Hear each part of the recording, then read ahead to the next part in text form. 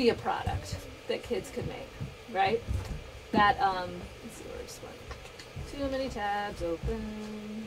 This is a story of all of your lives, isn't it? Too many tabs, the time. or tabs in your brain. Open. Um, you know, a lot of people don't even know about this element of migration. Like, there's really just a ton of people, like even in my own town, that were like, we didn't know this happened. This gorgeous creature we didn't know actually was out ever. Um, so bring, raising awareness with websites and working in conjunction with local nature centers or um, naturalists is, is could be really powerful for raising that awareness. Um, interview, they can do interviews with local scientists. Jim Andrews, who is our state herpetologist, was incredibly generous, and I met him down in Middlebury, and he came with me to a school visit.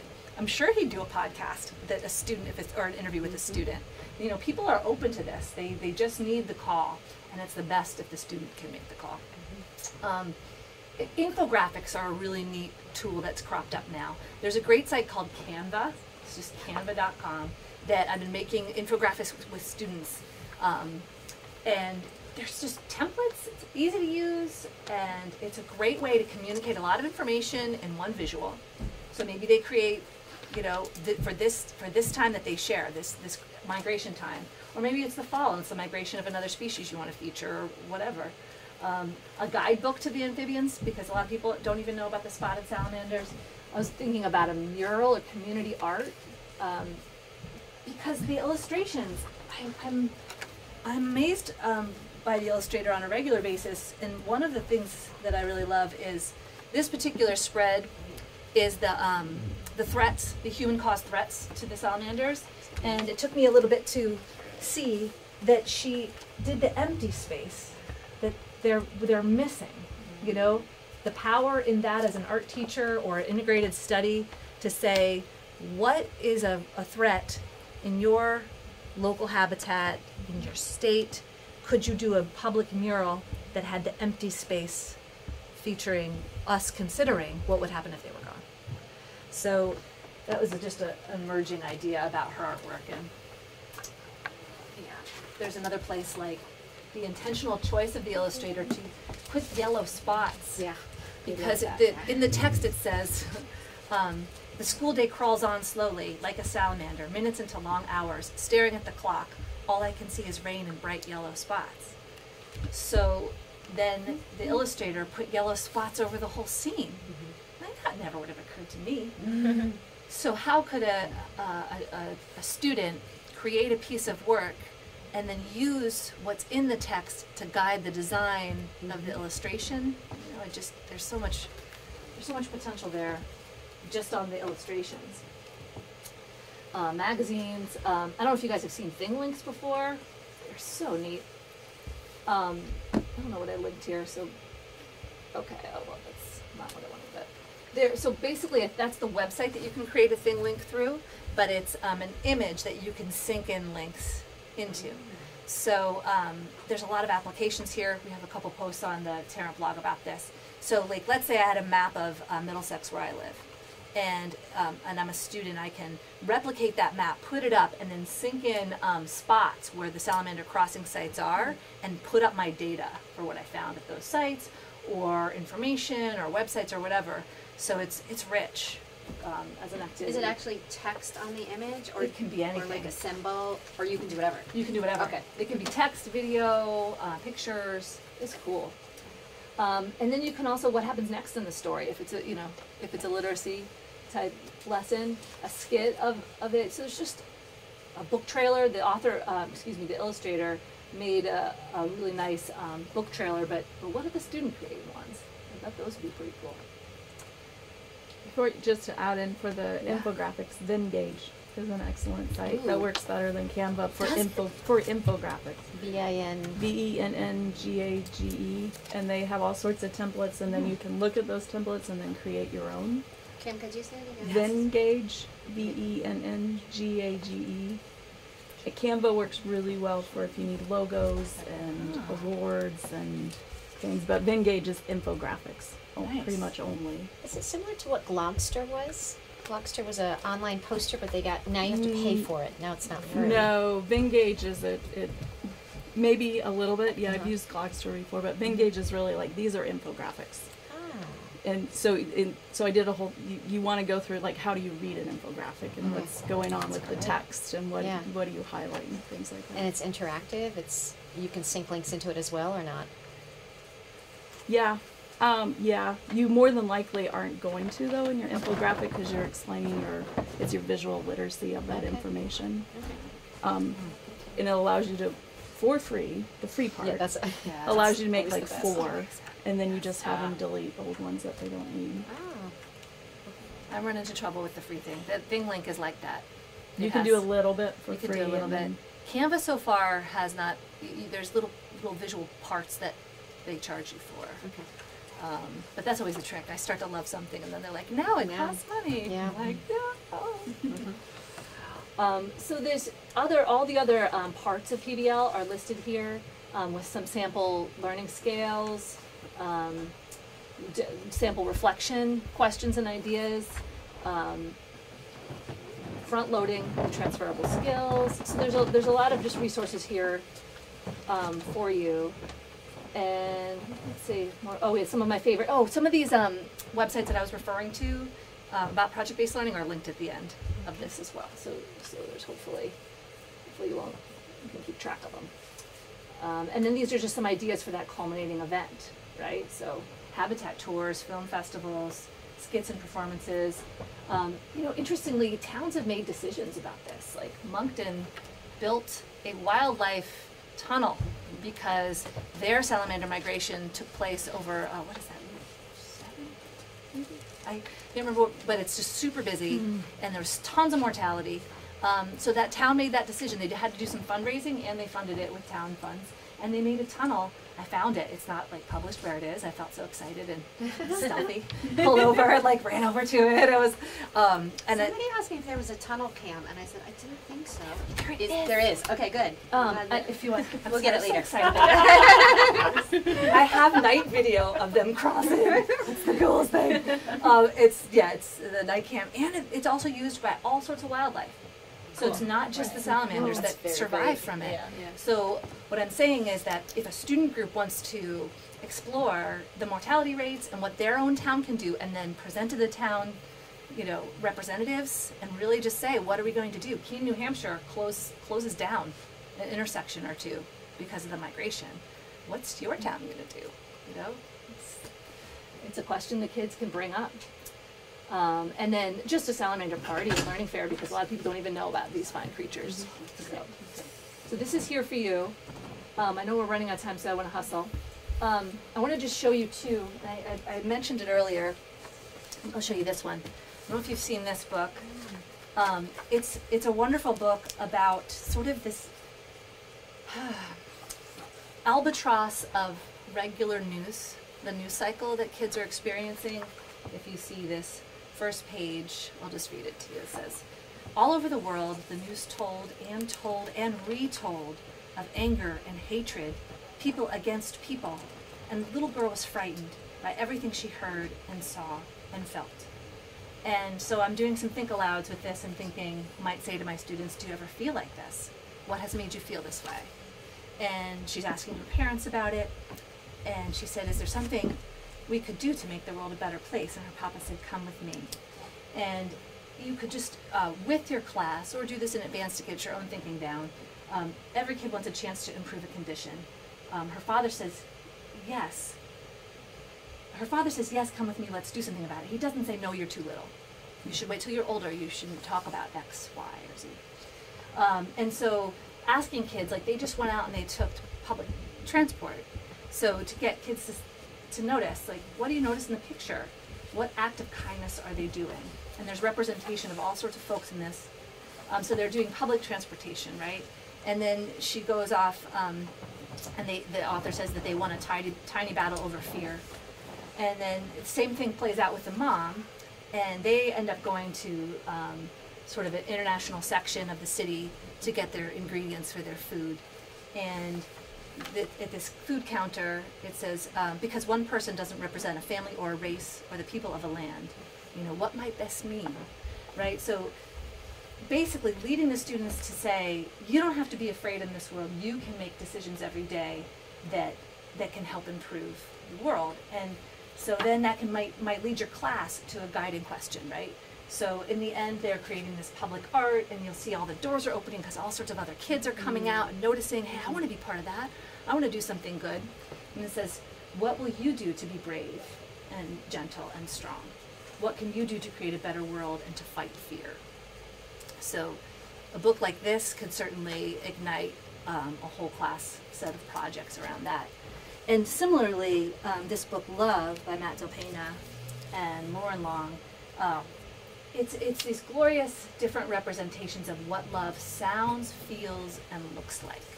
So I just, I love it in so many ways um, because it, it, it just busts through all sorts of uh, different stereotypes and biases that may exist and represents, um, like, here's something that's not usually represented. This little boy here, while his parents are arguing, you know, how many kids don't ever get to see themselves represented in a book? Um, there's another picture of a, of, um, of a family that lives in a trailer, and the, the mother and daughter are dancing. Um, I just I love that that all sorts of love and all sorts of lifestyles are represented, and it makes me ask guiding questions like, you know, what what love do you see, feel, hear on a regular basis? What what is your how could you rep, tell the story of what love looks like, sounds like, smells like, feels like in your area and and maybe if somebody's not experiencing that at home, maybe it's then it's going to be about their school or about you know so so there's just so much opportunity um, yeah after reading what does love sound like to you and then project idea your version of this book is it a book? Is it a song? Is it a play? Is it a website? Is it artwork? So you might come at this you know not using the template right? You might come at it from the book itself from your ideas with students. Um, that might be your gateway. And then lastly i have um, I have a, a, a guide that's a little, it's not project based learning focused entirely. Um, that's not the right link at all. Pardon me for one moment.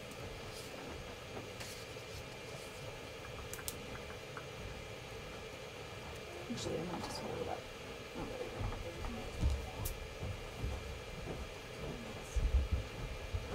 we go. Is it at Rumney, that picture that is on your website? Yeah, that's from the Order of the Trees. library. Let's see. Okay, so here's the guide, um, and this is a Google Doc, and oh, that's not the one.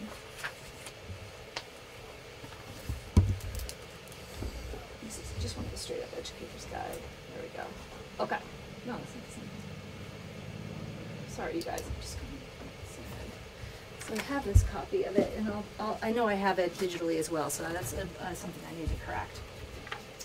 But it basically has um, information just about the book, and then it has a letter of why, like my first interaction with salamanders, and sort of like it's one from the illustrator, one from me that's very personal.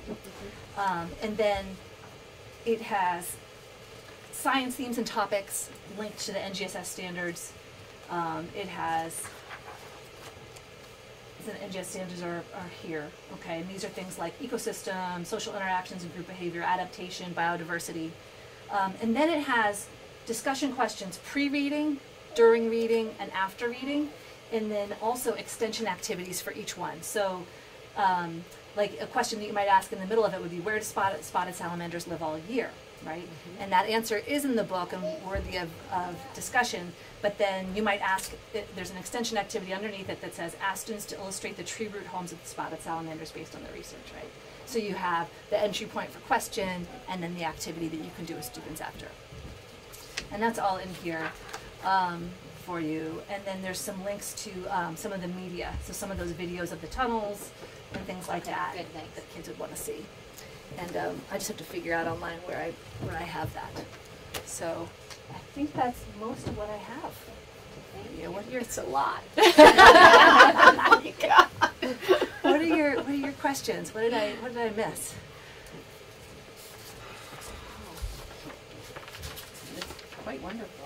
I just have one, uh, uh, piece of information on the Come With Me book, which is a wonderful book, and if people are interested in sort of using that as a launching pad, there's another book, um, either just came out or just coming out called The Breaking News by Sarah Will. And she, that is an awesome book That's an awesome. that starts from the same place. There's been terrible news, and and and a child. The news is never specified, but the child sort of goes on this journey to figure out how to deal with it and how to make their parents comforted. And it's a it's a really wonderful Yeah, and moving, and it could be if you're into pairing books. It's a it's a nice pair. What's it called again? The Breaking News. You could follow it up with this one's an old one, but the Silent Grandmother Gathering, where they have um, uh, a grandmother makes a peaceful, quiet protest in the square, and eventually all the women in town and kids join them for making a small difference in the world, and and they report it out as like that day there was no news to report. So they they made and they had a lot of kind of ridicule. They're like, why are they just standing there? That's so helpful in the Um, face of like activism, right? You might be Yeah. encountering like kind of like once you get going in one of these, just to kind of follow up, like you can make a difference any age you are, type of thing. And that one's pretty old. I wanna I wanna see it. nineties maybe. I did find the Google Doc that, that is the educator's guide, and I just need to correct that link. So, it's there. if anybody wants. Interesting. Any questions about the book or writing? Or there's also things I can pass around if you're interested. I'm looking at the Think Aloud. Do you see this approach working well with older students as well, or is it predominantly elementary school students? Well, I think this would work. The, the, the ones that have, you know, more intensive science subjects, you know, I'm thinking that the Salamander Sky, that would probably work for, for a five through eight experience as well, focused on, you know, the human threats, um, the migratory paths, the range of the species. I think those are all, all have power. And, and students there are well poised to make a product that would, could be seen widely and be really impactful. So I think it, it really could be if intentionally. You know, I think we, we do a disservice when we stop using picture books. You know, Older kids. with older kids. Yeah. That's what I was Yeah, going I to had ask. fifth graders last year, and I did a couple um, like social behavior things, and I used picture books, and they actually appreciate them more because they look deeper into them than the younger kids do. So D- So the kids don't have resistance to like using baby books? I use picture books. And I'm with Mentor thirteen year olds. text, yeah. Um, but yes, mentor text. I don't use them as the source that they're going for. Sure. But but I use them like for read alouds. They're Mm-hmm. really great, thinking questions and kind of a, a launching type of thing. I had a, a, a sacred reading read aloud time for sixth graders, and I would use a wide range of all sorts of things. Right, with no no parameters there. Um, and, they, and they loved that time. And it was Everyone loves to be read to. Mm-hmm. I love when people read to me, you know, so I think we just, as educators, we need to keep doing it no matter, mm-hmm. especially in the upper grades, right, to make sure that that's instilled. especially because a lot of families back away from reading a aloud at that point as well, so they're not getting that experience a lot of times. It's also practice for those skills that you're talking about. If they, if they have trouble, you know, presenting, well, if they're reading, that's a that's a, you know, an entry into presentation. It's also a shared experience. Like there's real value in, um, like if your class is having trouble with, maybe it's bullying or maybe it's um, anything that you can match a liter- a text to, and then do a read aloud where you all experience it together and dialogue together. You can push through whatever that scenario is. Um, and it could be student led. You know, I, I, I've read this book called uh, Learn Like a Pirate, which is all about planning the intentional student led environment. And he talks about projecting wonder. Um, and so everybody is accessing it, the text together. So you're getting all sorts of practice um, and engaging in the text. You know, right there, you're hearing what a fluent reader sounds like. You know, this is a group experience. We talk about how to treat each other. And it's not as threatening when you have an issue in class, if you're using a picture book for it, you know, now you're talking about the people there, but it's so easy to uh, then relate it to what's happening. Not personalize it with some kids. In my class this week, we, um, we had something interesting happening with Salamander Sky in terms of, um, the kid, we've been sort of doing a big theme of community and home. and we're going into birds and nests and downtown Montpelier, and the kids were really kind of like, "Where is the salamander's home?" Right? Because it it's a changing home, and so sometimes you can also like integrate into a much larger theme about community. And um, it wasn't I didn't it wasn't something I was thinking about um, using the book in that way, and it's just sort of happening, and it's it was a really good question. um, and even with birds, sort of, where is their home? Like, is their nest their home all the time? Or so it's been really fun to think about um, that i- big idea of home. And that, that book I And was use the book telling you- Home, I used the book Home by Carson Carson L. Carson Ellis. Carson Ellis. Yeah, Yeah. Carson Ellis. I love that thinking about what, what defines a home and what, what homes are represented more often. You know, I just I think that's so important. You know, and not not thought about as much. Um, I was look I was at a um, research presentation about um, homelessness, and they were talking about how um, many of our students are not homeless in that sort of like traditional sense, but they're like um, ho- how not, oh, there's a good word for it Housing insecure. housing insecure and they're doubling up. So they're People sleeping on other people's couches. exactly. Right. And what it looks like in rural Vermont is not what you might see. You know, people have this mindset of what homelessness is, and um, and a lot of times we don't know that our students are doubling up. We don't know that they're in the RV, and, and how that the way that we viewed that concept has been very limited. Um, so And in that was Montpelier, we're, we're actually seeing quite a bit of that because you, you don't need a car necessarily if you can double up and live in the city. Yeah. and we're seeing that in our district. Quite a few families fall into that category now. Yeah. When I taught in Alaska, I didn't realize that kids would have shifts in bed. It took me a long time to learn. I'm like, that's why you're so tired. You only get to sleep in the bed until 2 mm-hmm. and then you get knocked out for basically like the other family living there to sleep. Yeah, I, re- I It remember has an impact. recess duty talking with a student and not the student um, was talking about being in the RV and there was it's, it was like February and I had not considered that student as homeless.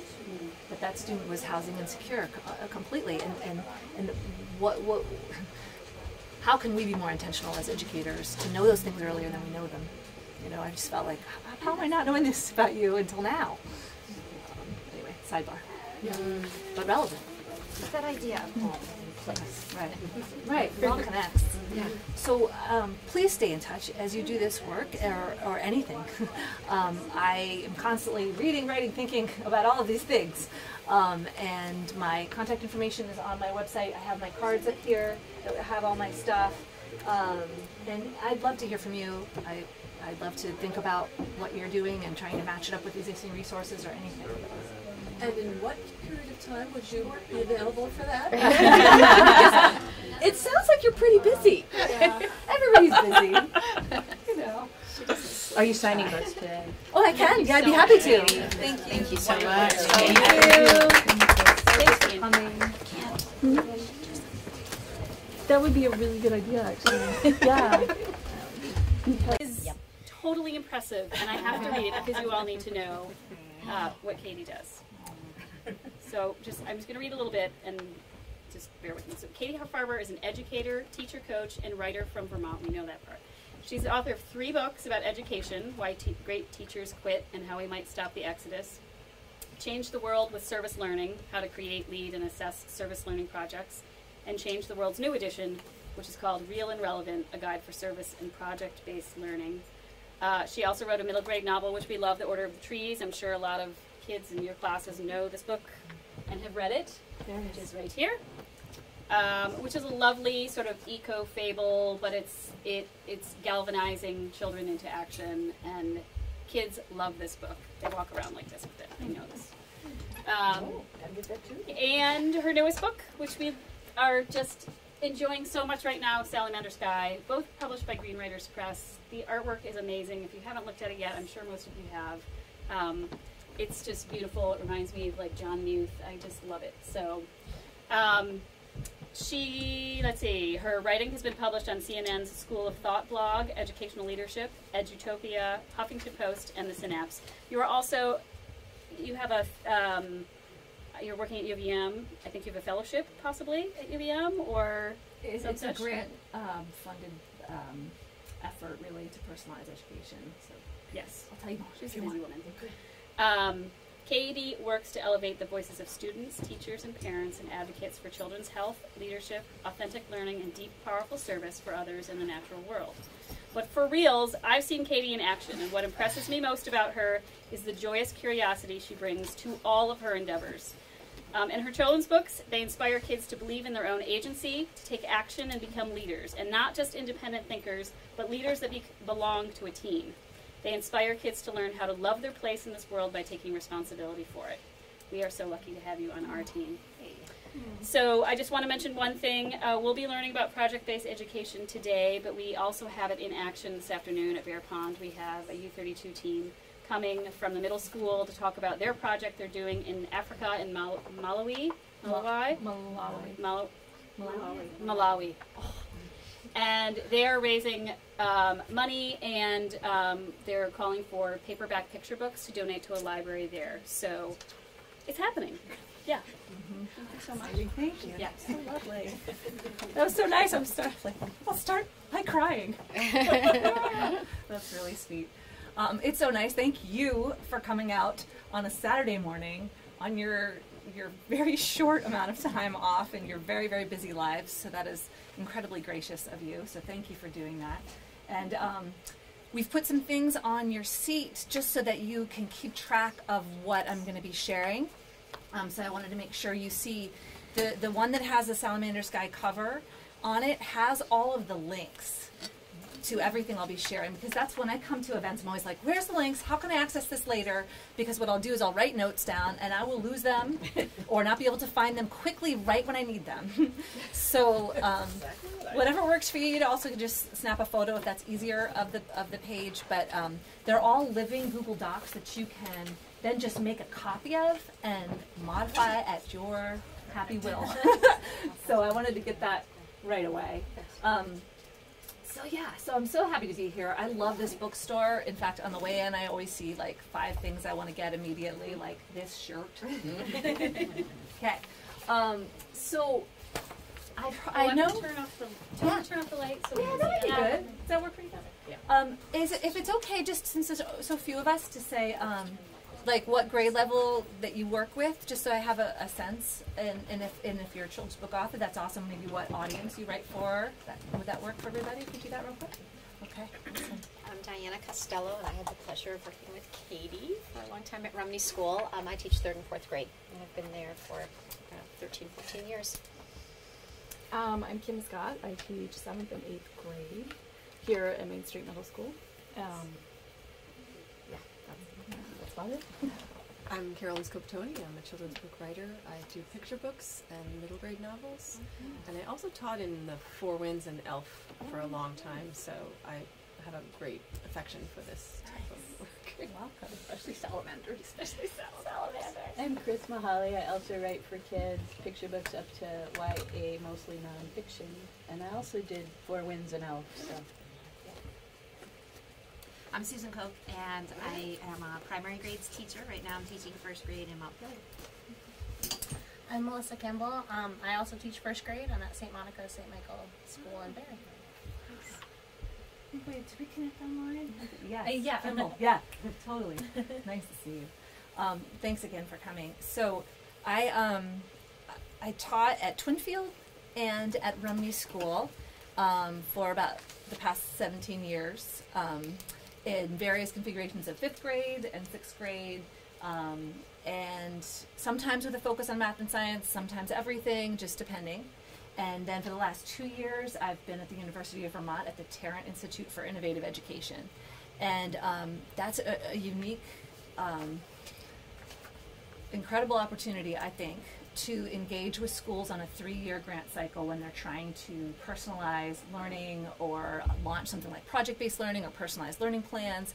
And so we enter into this relationship where we um, co construct professional development with teacher leaders um, and, and help them pretty much take on what they want to take on, um, but really with the goal of engaging. Welcome, with engaging. Hi, with engaging students primarily in middle grades, but um, we I work with a K five down in Ottauquechee. You know, it, we don't really have parameters on the work. It's just how do we engage kids in meaningful, authentic learning, um, and that's what we partner with schools to do.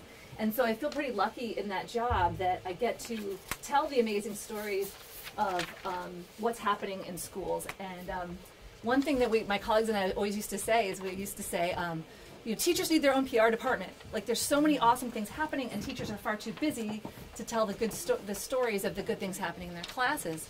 And it's so frustrating, right? Um, that that more positive attention isn't brought. So um, that's one thing that I get to do in this role, and I feel really happy and excited to do that. So um, if you're interested in, and also this this blog is a really dynamic place where practices from the field are shared, reflected on, and they're often very dynamic, um, community-based, project-based learning. So it's it's a, it's taking what's happening in the field and then in a matter of weeks or days writing about it. Sometimes teachers come to us with a problem, and then we try to find the resources and solve it. So it's um, it's a really responsive space for Vermont educators. Um, to, to as a platform for them, but to also problem solve and help find resources. So wanted to make sure I showed that to you. Um, What of the the name of this? Is that yeah, so the link is on here. Oh, except it's not exactly, it's not fully linked on there. So what I would do, sometimes I often do just to find it quick, is um, put in Tarrant Institute blog, and it'll come right up. Um, a couple really interesting things to find here is a project-based learning page here, okay? And that has what we'll talk about in a minute, um, sort of uh, a definition that we've worked up. But then all the posts that go through all the parts of project-based learning. So I wrote a post for every aspect of PBL, and then what does it look like um, out in Vermont schools? So reports from the field and stuff, and um, and then how to go further with it. So there's there's like different levels of entry points to, to get into with that. So um, so I've, I worked a lot of you know do a lot of writing here as well as partnering with schools. So I wanted to point you point that to you right away. And um, before we, so so this book, I feel like it, it. I feel very lucky that it came out recently. Um, it came out about a month ago, and now it's Salamander Week. I know. Oh my gosh, it's so awesome. So um, you'll see this shirt I'm wearing was designed by the illustrator, and I carry around. This is Sky. Um, and I, I've been doing a lot of events at schools and things, and Sky's very popular. Um, just as a side note, the illustrator sent me Sky. Sky had a forked tongue sticking out and claws. Oh dear. Which is like, you don't even know the difference between a lizard and a salamander. This is why this is important. um, so the illustrator clipped the tongue off and the and the claws in. So Sky's a little bit more representative. Um, but if you haven't seen a spotted, Sky is approximately the size of an actual spotted salamander, a touch larger. So when I just held held one two nights ago, um, its tail came to right about here where my bracelet is, a nice wrapped around, and I have some photos if you want to see. Um, anyway, that's a sidebar. So Salamander Sky came out, and um, this week we've been super active with it. And I was thinking when Jane and I were talking, you know, how could how can teachers use these kind of books to be a springboard into um, problem solving in their own communities and action and, and you know making a difference. And so we're going to talk about two different ways that you might approach that work, uh, depending on where your what your orientation is and where you're coming from. But before we do that, um, oh yeah, jump in. I talk fast, um, and you know my brain's a very busy place, so stop it at any point and um, and jump in. Um, Katie, I'm going to jump in for Jump a second in. because um, when we were reading Salamander Sky with the first graders, they're totally smitten with the fact that her name is April. Yeah. Like, like they're obsessed with it. Like, and it's so awesome that uh, the rain actually came in April. It was still April this week. Yeah. Yeah, so- but that was uh, really thoughtful and helpful. yay, oh, I'm so glad. I can add to that because third and fourth graders were talking about um, author's intentionality. And I said, Do you think she intended to call her April because the salamanders come, come out in April? And I love that you did that. I mean, everything that I teach was modeled beautifully in your book.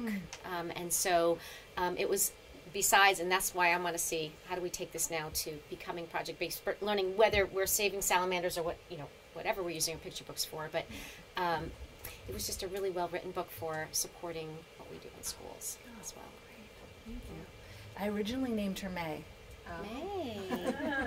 and then like, no, it's gonna happen in April up here. I was just really glad I didn't have to call her February. Oh my um, so just as a so part of my um, job at UVM is a lot of work around what is project-based learning, how do you implement it, um, how do you you know, do different aspects of it, and um, I've just got if you're interested, I've just got a thousand resources about that, and um, as, but just as a super quick snapshot of it, I like to think about it, and oh, and people define it in many many different ways, right? I like to think about it in a straightforward kind of way. Um, that it's taking a real world problem or issue, exploring it in teams. Now, that's certainly debatable, right? Sometimes you ha- can have students working um, individually. Develop a product or a solution, and I maybe would say that differently now not a solution, um, a contribution, right? You're, you're not going to solve you know, global poverty, but you could make a contribution. Um, and creating something that you present to an authentic audience, an engaged audience that cares, that matters, that it feels important to both parties. So, how do you do that? These are the uh, parts that have sort of distilled out from different resources. Um, a driving question. This is that inquiry question that everybody can sink their teeth into for a long period of time. There's lots of information about how to write a really strong one that, that promotes prolonged engagement, and um, I have a post about that. Um, so that's part of it. Now, interestingly, the kids can come up with those, or you can come up with those to meet a certain proficiency or standard that you need to meet. So that's what we're going to talk about, sort of the ways to get at it, right? Like you, there's a couple different ways. You can decide on that yourself, have that part be sort of teacher, you know, directed or informed, but then what they create is their student choice and voice and creativity. So um, a driving question, an entry event. This is what teachers do all the time, right? Like snazzy, exciting entry event. The the picture books can be the entry event, right? So if you um, have what you think is a really high, you know, hopefully high quality picture book that you're bringing to the table, you can read this aloud um, in conjunction with something else or on its own, and have that be the entry point for everybody. Um, but it also includes things like field trips, like if you took your kids out back and you have a vernal pool and you, what do you notice, you guys? That could be your entry event. Your entry event could be a trip to the North Branch Nature Center if you're thinking salamanders. It can be any um, any way to sort of shake kids out of their regular existence and and get them thinking in a new direction. Um, so there's some really great lists out there about different kinds of entry events. Um, I used to do one where I would take a tarp in the classroom and I would just dump the day's trash out, and it was you know kind of gross and awesome. and um, and they would pick through and be like, "Oh my gosh, people don't they don't there's foil in here. Why is foil in here? The bagels were wrapped in foil, remember?" And um, people just weren't they weren't putting together that the foil is recyclable from the everyday school snack. So there's all sorts of things you can discover, you know, just by like looking around the actual school campus. Um, and then teams are researching and developing a product or a presentation, right? So this is where, you know, there's teaching that happens the whole time. Part of my other one aspect of my job that I do is um, as a we work um, as a research team with the um, with the professors at UVM, and we are are researching the shifts in practice of teachers as they're personalizing learning. And sometimes a misnomer is like, well, where's the direct instruction? Like, there's, you know, we're not doing direct instruction, but we are. It's just right when the kids need it. And I like to use the example of like, um, if I'm, I don't really care about commas, like, I'm an over comma person, okay? Julie Smart knows I'm like an overly, I just, I love them. And I use them profuse, profusely. Um, but if I'm writing Senator Leahy a letter and I want him to change something, I'm going to really need to be, I'm going to need to learn about commas. It's a right when I need to know it moment. And that's when we jump in and we teach kids right when they have that motivation and relevance. So there really is direct instruction, right? It's just um, right when they need it. So it looks a little different. Um, there's frequent reflection. Um, I did um, my research for my doctorate about service learning, which is a little bit different, which we can talk about. But one of the things that came up in it is that the reflection is the learning in a lot of these learning environments. So if there's not mindfully planned regular reflection, we miss out on so many of the benefits of this work. Um, and for me, as a fast thinker, I had to put it on the calendar. I had to be intentional about planning it, or I just skipped it. So that's just a, one of the things I always like to point out. And then a, an authentic culminating event where students share their work to a relevant audience. And that um, can be anything from, you know, if you're entering into the work another class, um, it can be parents and the school board, it can be um, a focused group of people that are um, connected to what you're doing. So, like for an example, I had some high school students that were doing um, Shakespeare plays that they had written, and um, after you know one that they were studying, and they were in touch with a college Shakespeare theater club to give them feedback on their scripts and their performance, right? So it can be during the creation of the project, it can be at the end of the project. I kind of used to think it had to be at the end, but you can get feedback from and work with people, on an authentic audience, during, even before, as you're ideating. So um, it's just that you have lots of touch points that make it real and matter. So that's a quick and, and you know summarizing splash of PBL. We can get back into any more of that as you guys uh, as you guys want to. So okay, and I pointed out that oh, and then I wanted to make a tool for teachers that was accessible in terms of how do you plan for project-based learning, and there's um, I think you have one of these at your seat. Does everybody have one? You're getting Some of the seats may not have had one, and we don't. You have one? No. No. Oh. Oh no. Here. Here's one. One. And when you when you click through the link, oh yeah. Do we, have paper towel? Thank you. You can just make a copy of this and then modify it to your heart's content um, and fill it in. But um, I just wanted to make something that felt really usable. So let's say you're starting with a picture book or a concept, right? Let's say you're starting with, if you wanted to start with um, salamander migration and you were going to get your NGSS standards of um, maybe life cycles, right? And you were going to do that. You could fill this in where you are front loading the knowledge and skills that you want them to have, right? So you would say, I really want my students to learn about the life cycle of amphibians, and I really want them to work on the transferable skill of collaboration. So if you pull those out right away and you front load them and you put them in here, you're going to be much more intentional about getting at those. And then it goes through those phases of PBL I was just showing you, right? Um, you see here the driving question. It has examples of each. Okay. Um, what is the demonstration of learning that kids are going to do? What are the, what's the launch event you're going to do? What's the culminating event? And then this one's really helpful, the timeline. Often it's best to go to the very end. Where's the learning fair or the big culminating event you're going to want to do? And you look at that on the calendar and you work backwards, that understanding by design, work backwards approach. And um, give yourself an extra week or two than you think you're going to need, because you always need it. There was some study I was reading about service learning. This one was about, but it was it takes 20% longer than you ever planned for. Like there's actual research to, research to support that. Um, and then one thing I would always forget is that really nice rehearsal and feedback time. Right, the kids need to practice. A lot of times they're not used to all of this public presentation, and um, they're anxious. Right, so if you give them a chance for peer feedback and a chance for um, some teacher one-on-one feedback, um, that's important. So there's a blank calendar in there for you um, if you need that. And then what are they going to create? So if I'm having my kids do um, a TED talk, right? Um, they might be writing their persuasive piece that gets evaluated as part of the writing, you know, portfolio or their writing standards or proficiencies. So here's where you can list out the different things they're going to create on the way. So if they're giving a TED talk, they're writing a persuasive writing piece. But then they're also using their presentation skills, which is a transferable skill, um, in the actual TED talk they're creating, right? So you can link that there. So there's there's just um, being intentional about what they're doing, what you can use um, for your own formative and summative assessment. Like even like the research notes, you can go in and say, does a student know how to find evidence to support their thinking, right? You can find that from the research notes and your conversations with them. Scaffold is a really big deal in PBL, and that's about what what supports are they going to need? What kind of note catchers, graphic organizers, one-on-one conversations, mini lessons? Um, there's a lot of different roles that we're finding teachers engaging with this. It's curator, right, of materials.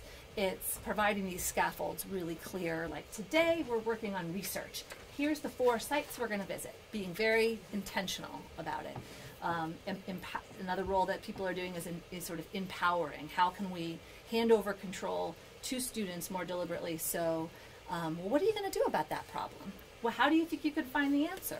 How do you think you can access inform- this information? Can you call somebody? Can you email an expert? So, being really deliberate about that. Do you have you heard much talk about um, uh, bringing misconceptions to light and having kids um, talking about misconceptions early on and then kind of um, learning about them? Is that have you thought about that in the scaffolding at all? I'm, I'm just starting to think about it myself. So Yeah, I mean, I'm thinking about it like I would, I, I would kind of want them, hopefully, to find it, Uh-huh. and because it would be meaningful, Yeah. and then we'll. Is that like- true? Everybody stops, you know, and has that reflective conversation, because I feel like if we sometimes, and I used to do this, we front load the misconception, and then there's um, the meaning isn't there as much, right? Or we take away some of their power to discover it. right, right. Okay, thanks. But then, but your age, I'm just pondering grade one. Yeah, the, You the know, does that- like part of their new process is to, to kind of bring misconcep- misconceptions to light Hmm. for, because they're very young. Right. Just, just sort of put it out there and then have them discover why. But I, Yeah. I don't know if you've done No, much with that yet. But that makes me think, makes me wonder about first grade and, and if that isn't different, yeah, might be. you know, in terms of wanting to catch it early before it gets too Maybe. Embedded. developed. Yeah. Yeah. Maybe. Although uh, there is a lot of research about how um, how service learning, in particularly, which which has that sort of added um, added so societal benefit that's deliberately planned, how that can disrupt um, like existing biases, stereotypes, and things like that. Yeah. So, so if they if if we let the misconception live a little bit, and then we're able to disprove it I know. in a really meaningful way, that might be kind of awesome as well. You know, because then it might stick. And I don't want to get you off track. Anyway. it just made me think about it Okay. when you talk about scaffolding. Know. I've been thinking about it a Super- We can talk more. We used to do this super cool study though, where uh, fourth graders had preconceived notions about elderly people, that they, um, you know, were unpredictable, that they, um, some various other things I won't say aloud, and um, and those were completely disrupted by um, working with those with that population, and I just love that. Same for pre-service teachers um, with urban youth. So there's power in that. Um, okay, so regular reflection, there's a spot for that. And then there's a spot for assessment, formative and summative, and considering that. Um, I like to make things that are usable for both. so um, a, a nice large learning scale that, and I have um, I have an example linked here to take a look at that has um, what I'm what I know I'm going to assess summatively, but that could be a check-in formative every week along the way, so that and students can self-assess on it, so that I can have those multiple avenues, but not creating a ton of um, insurmountable processes. Um, and then evaluate it. Oh, and then at the end, one of the things that um, I learned from experience is you finish a project and you're like, yay, that was great, and we're all tired, and we move on without capturing what was good about it, what didn't work about it, how can we improve, um, and so capturing that is is helpful with a self-assessment, with your own reflection. Um, that certainly helped me to improve. Can I ask a question? I'm Yeah. not a teacher, so all good.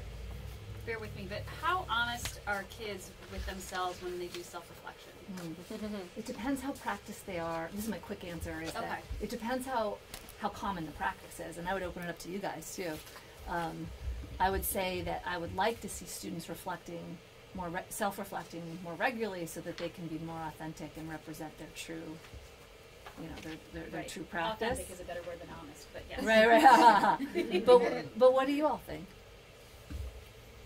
I've had students self-reflecting for years now.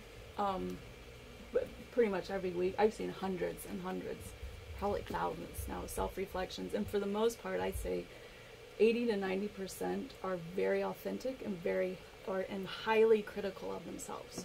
They are so much harder on themselves than what. And, and uh, but I'm also in middle school. I'm also in that my you know peer input is kind of controlling everything really. Um, and then you do get, um, you always get a handful of just um, oblivious student. Uh, you know, and they're, they're oblivious to like social cues and to and but you know they're just kind of like that's just how they are, and they'll figure it out eventually. But yeah, for the most part, I would say self-reflection is is key to to a lot of the learning, and they are very um, authentic. They m- maybe not go into as much depth as you want them to, but they recognize that they should. the same experience of being really hard on themselves and really, you know, just critical. Same with eight and nine year olds. They are spot on knowing what they know well and what they need to work on, and are. Um, we actually have them. I have them score their own writing pieces, you know, on a rubric, and then peers score it, and then I score it with them when we have a conference, and they always score themselves so much harder than than I would. Right, so there is something to that. There's a lot of power to it too. Um, but it's also the dialogue, you know, that I think is really helpful afterwards. Of about why you thought that and speaking of that dialogue, it's like it's a project-based learning. I feel like it's a much more in close kind of. There's a lot of more chances to have meaningful interactions with small groups and one-on-one with students than the sort of um, more traditional practices. So that and it can allow for some of those conversations where they're more honest than they might be in a whole group. So I wanted to draw your attention to that template. It's been helpful to me.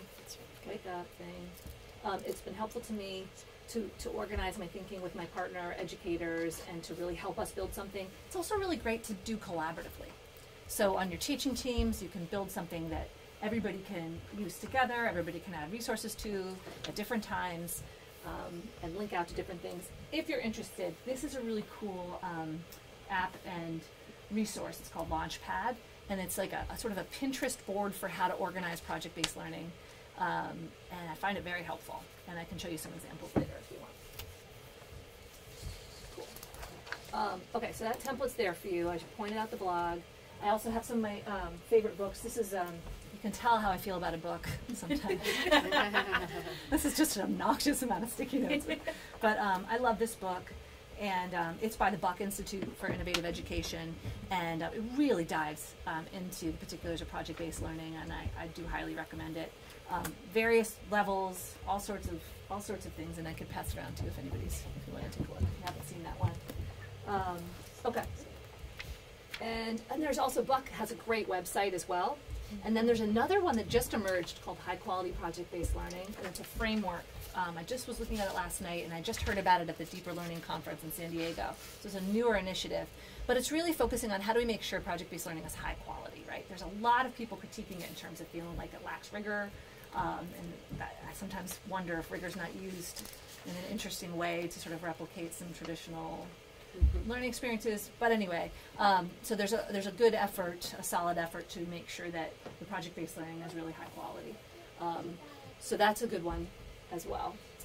And then, so I wanted to make something that was usable to to teachers using Salamander Sky specifically. for project-based learning, and I wanted to take teachers through each um, phase of project-based learning and give some ideas that you could just replicate if you wanted to.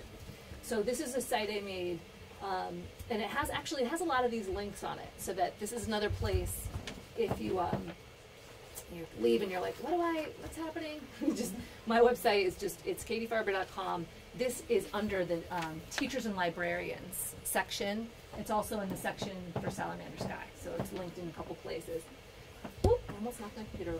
Okay, so I just started brainstorming some driving questions that might be good to go with the book. and let me get this bigger for us. So, what could kids ask? You know, a lot of kids are asking these, right? And we'll talk about how to enter in it that way. Like, you might read aloud this book, and um, and I'll talk about this approach. But like, I did it with with love and with come away. Um, you might emerge the questions. You might let the questions come from you as in your think alouds and from the students. And you might, when you read it aloud, be asking them to think, well, what are your questions about this? Well, what what are you curious about? And you can sticky note, and I'll show you these in a bit. You sticky note everything they're saying, and then maybe you put them onto a chart, and then decide collectively what's the question you're going to try to answer. But these are some of the questions I hear. You know, wh- why do salamanders migrate, and what are the challenges? Um, why are all amphibians vulnerable, and what can be done to help them? So you could look at this and think about where you live and where you teach, and try to find the one that matches. Also, what standards are you going for, right? So, you know, maybe it's vernal pools. And maybe you want to take an integrated approach. Like, how can we use science, art, and storytelling to tell a science story that helps nature? I love that question. that one, I we did a, a tell a science story workshop at uh, Bridgeside Books, and the kids were really interested in thinking about what their favorite local animal is, and how can I tell a science story about that animal, know, raising awareness, helping the animal, learning about local habitats. So there's a lot of possibility there. And um, let's see, I kind of lost the navigation. No, there we go. Oh yeah, okay. And then I think we, we talked about some of these uh, entry event ideas, but here's a few ideas.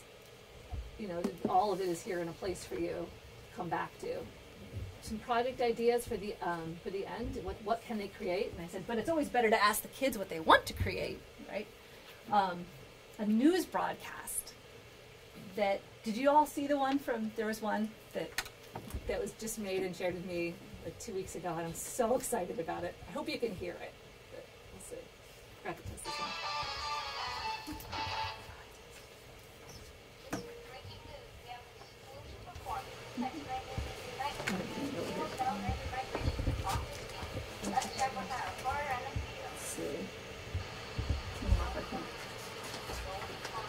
Oh, you guys, sorry about the sound. it's really cute. Like visuals yeah. Are they using a green screen or are they actually standing next to the green I was just wondering, do you know, like, is it the WeVideo program, or do you have any idea of how they, the logistics for that?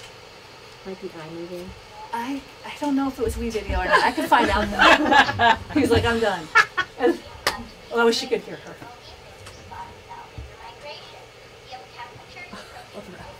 Love her Right. tie so very much.